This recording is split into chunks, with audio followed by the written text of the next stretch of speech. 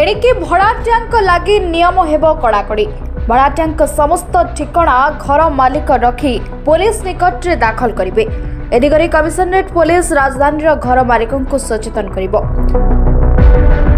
SIM box racket ଧରାପଡ଼ିବା ପରେ ସହରୀ police ଏଥିପ୍ରତି ସଜାଗ ହୋଇଛି। ନିୟମ ନ ମାନିଲେ ସେପରି କୌଣସି ଅପରାଧୀ ଧରାପଡ଼ିବା ପରେ ସମ୍ପୃକ୍ତ ମାଲିକଙ୍କ ବିରୋଧରେ ଆଇନ ଅନୁସାରେ କାର୍ଯ୍ୟାନୁଷ୍ଠାନ ଗ୍ରହଣ କରାଯିବ। କିଛିଦିନ ପୂର୍ବରୁ ଏହି ନିୟମକୁ ପୋଲିସ କଡ଼ାକଡ଼ି କରିଥିଲା। ଏକ ଫର୍ମରେ ଘର ମାଲିକ ଭଡ଼ାଟିଆଙ୍କ ସମ୍ପର୍କରେ ସୂଚନା ଦେଉଥିଲେ। ତାହା ବନ୍ଦ ହେବା ପରେ ସହରରେ ଏବେ ଅପରାଧୀ ମିଥ୍ୟା ପରିଚୟରେ ରହିବା ନେଇ ସନ୍ଦେହ ସୃଷ୍ଟି ହୋଇଛି। ଏ ଦିଗରେ ଘର ମାଲିକଙ୍କୁ ଅବଗତ କରାଯିବ ବୋଲି ଗୁରୁବାର ପୋଲିସ ଆୟୁକ୍ତ ସଞ୍ଜୀବ ପଣ୍ଡା ଗଣମାଧ୍ୟମକୁ ସୂଚନା ଦେଇଛନ୍ତି। ମାସ ପୁରିବା ମାତ୍ରେ ଘର ଭଡ଼ା ପାଇଗଲେ ମାଲିକ ଚୁପ୍ ରହୁଛନ୍ତି। କେତେ ବଡ଼ ଅପରାଧୀକୁ ଆଶ୍ରୟ ଦିଆଯାଇଛି ସେ ବିଷୟରେ ଘର ମାଲିକ କେବେ ଚିନ୍ତା କରୁନାହାନ୍ତି। ଅପରାଧୀ ରହି ଅପରାଧ ସାମ୍ରାଜ୍ୟ ଚଳାଉଛନ୍ତି। ସେମାନଙ୍କ ସମ୍ପର୍କରେ ସୂଚନା ପାଇବା କଷ୍ଟକର ହେଉଛି।